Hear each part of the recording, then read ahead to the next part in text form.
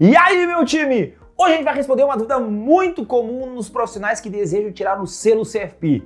E é a seguinte dúvida: Toro, posso ter o selo CFP sem ter experiência no mercado financeiro? E a resposta é não! E acabou o vídeo. Now Eu vou te explicar o que acontece com tudo isso, tá? Olha só. Tá, mas é mentira ou é verdade, Toro? Mas antes de responder tudo isso aqui, não te esquece, né? Dá o like aqui no nosso videozinho, né? E se inscreve no nosso canal aqui da Academia Rafael Toro para você não perder nenhuma novidade e não perder nenhum conteúdo sobre o mercado financeiro e a certificação para você performar melhor, bater suas metas, crescer no mercado financeiro, entrar às vezes nas instituições que você deseja, né? Tudo mais, tudo aqui nos vídeos aqui da Academia Rafael Toro. Mas, Toro, olha só, Precisa ou não precisa ter experiência? Tu falou que não e disse que é brincadeira. É que é o seguinte, ó. Para você ter o selo CFP, você precisa ter quatro E's quatro ex-namoradas? Não, não é ex desse tipo, tá? Esses quatro ex é o primeiro E, é o E do exame. Você tem que ser aprovado no exame. São 140 questões, tem que acertar 98, não pode acertar menos de 50% por prova lá, ver vários conteúdos e tudo mais. Esse é o E do exame que as pessoas se preocupam, né? Porque é onde a gente prepara todo mundo. Só que tem outros três E's, E's, tá? Qual que é um deles? Um é o código de ética, que você tem que aderir ao código de ética. O outro E é da educação, que você precisa ser um cara educado. Com licença, pode sentar aqui na cadeira? Não é essa educação aí, não. É a educação de você ser graduado, ter um ensino superior registrado pelo MEC e tudo mais. E o quarto E é o E da experiência. E o que, que acontece? Até o final de 2021, início de 2022, você precisa comprovar esse E de experiência, mas você não precisava ter experiência. Mas como assim? É o seguinte, ó, é, esse da experiência você podia ter comprovar ele, né, através da experiência supervisionada. Isso era até o final de 2021. Então, naquela época lá, se você não tivesse experiência no mercado, né, você podia buscar um profissional CFP. Esse profissional CFP ficava um ano com você entregando relatórios para planejar, né? E aí ele substituía a experiência profissional pela experiência supervisionada. Mas no início de 2022, esta experiência supervisionada foi suspensa. Então agora você sim precisa ter experiência no mercado. Mas é só no mercado financeiro, no mercado de investimentos?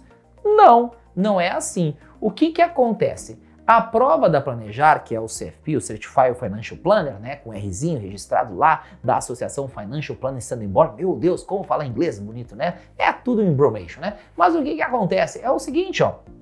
A gente tem seis módulos na prova, tá? Que a gente chama de gestão financeira, que é você saber fluxo de caixa, saber ali gerenciar as dívidas, ativos e passivos, né? Toda essa parte aqui, a gente fala de gestão financeira, se você trabalha como um consultor, você pode comprovar isso, porque são seis áreas do planejamento ao total dessa prova. Primeira área é gestão financeira, segunda área é gestão de ativos, que são os investimentos, CDB, fundo de investimentos, tudo mais, né? Terceira área, o planejamento de aposentadoria, se você trabalha lá comercializando planos de previdência. Quarta prova nossa a gente chama de gestão de risco, que são todos os seguros. Então, se você trabalha com algum tipo de seguro, né, também pode contabilizar. A quinta área é planejamento fiscal e a sexta área é planejamento sucessório. E o que, que acontece nessas outras duas áreas? É o seguinte, são áreas muito focadas em quem trabalha com o direito. Então, se a pessoa trabalha com direito, né, com planejamento sucessório ou planejamento fiscal, né, ele poderia conseguir comprovar a sua experiência. Mas aqui vai um grande detalhe. Qual que é? É que você precisa comprovar 5 anos de experiência nos últimos 10 anos com pessoa física. Então, se você atende apenas as pessoas jurídicas, a PJ, a planejar não vai aceitar. Mas, Toro, eu sou gerente pessoa jurídica num banco, então eu não posso ter um CFP? Não, não é isso. O que, que acontece? Como você é um gerente corporate, um gerente PJ, né? Você acaba atendendo a pessoa física também. Quando você vai entregar uma solução financeira para aquela empresa, você não conversou ali com o, com o, sócio da empresa e não deu uma solução para ele, às vezes, um plano de previdência, um seguro para o sócio? Sim, Tor. Então, você atende a pessoa física. O teu foco é PJ. Mas então todo mundo que trabalha com PJ diz que atende a pessoa física. Nananina não. Porque olha só, se você é um contador e você faz o balanço, né, o DRE da pessoa jurídica, você não tem nenhuma atuação com pessoa física e aí você não consegue comprovar essa atuação com pessoa física. Então são seis áreas que você pode demonstrar a sua atuação nos últimos, em cinco anos, nos últimos dez, né? Com alguma pessoa física, alguma relação com pessoa física. Então é assim que funciona esse E da experiência. Então eu disse que não, mas que sim, porque a qualquer momento a planejar pode dizer o seguinte: a experiência supervisionada voltou. Então, se você não tem experiência, talvez você daqui a pouco possa fazer a prova e tudo mais, ser aprovado e comprovar todo esse tempo aí, bonitinho com um profissional. Vai ser igual como era até 2021?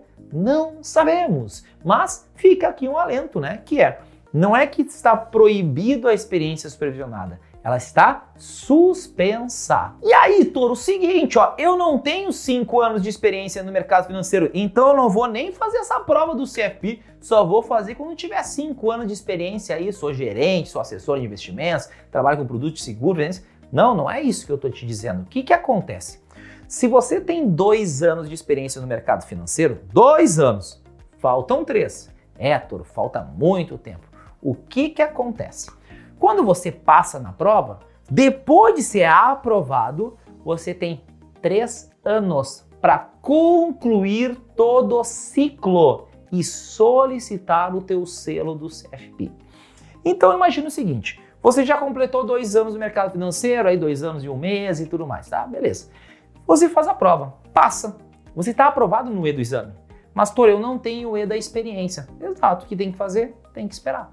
Você já tem o E do exame, tem que esperar concluir os cinco anos e solicitar, porque ah, você tem três anos para solicitar e entregar toda a documentação, que é o E do exame, o E da educação, o E da experiência e o E do código de ética. E aí você pode fazer isso. Claro que esperar muitas vezes três anos pode ser muito tempo, mas às vezes as pessoas já têm quatro anos no mercado financeiro.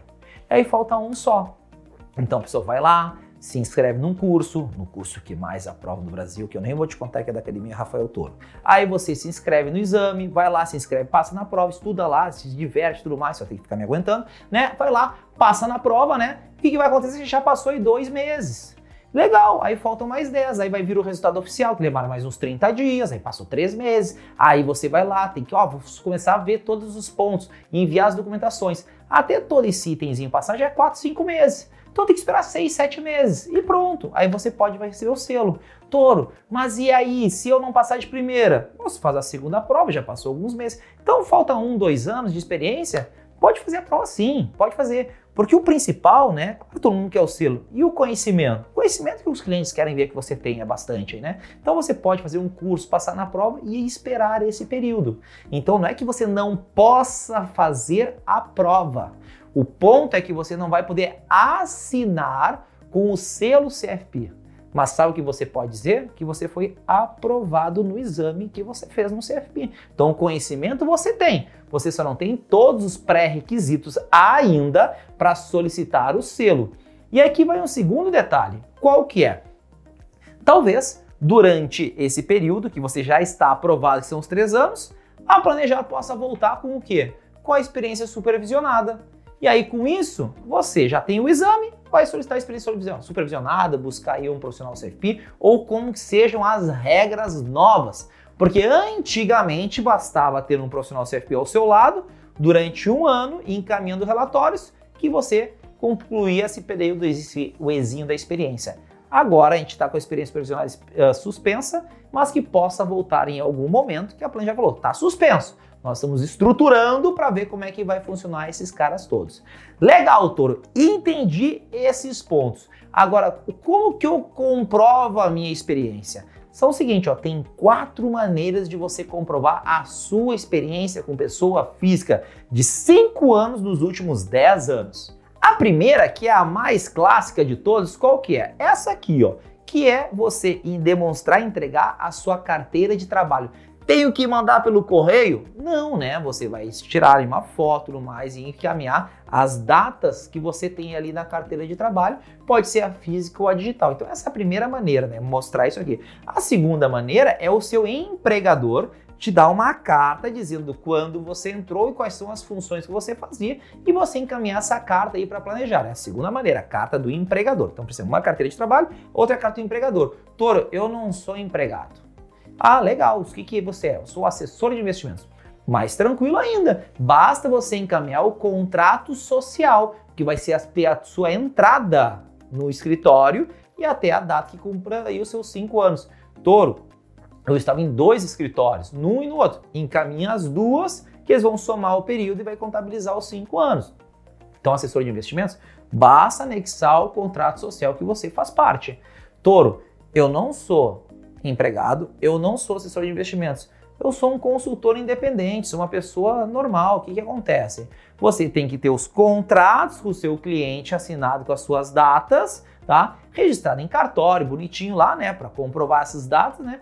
E você encaminha esses contratos para planejar. Planejar vai analisar tudo mais. Só que tem um detalhe. Toda vez que você encaminhar isso, né? Quando encaminhar, você vai ter que descrever todas as funções que você fazia. E aí a planeja vai analisar se naquela descrição se inclui numa daquelas cinco provas. Gestão financeira, gestão de ativos, projeto de aposentadoria, gestão de risco, projeto fiscal, projeto acessório. Nessas seis áreas. Então você tem que descrever e encaminhar essa documentação. A planejar analisa tudo isso e te dá uma devolutiva. Ó, oh, parabéns, está aprovada a sua experiência. Ó, oh, não, não, nós não aprovamos ainda. Você pode pegar mais documentos e encaminhar para eles analisarem para fechar esses cinco anos de experiência né, com a atuação de pessoa física. Mas, Toro, olha só, eu sou muito, muito, muito azar. Eu tô há cinco anos no mercado financeiro, mas um ano inteiro aqui, um período meu, era estagiário. Conta?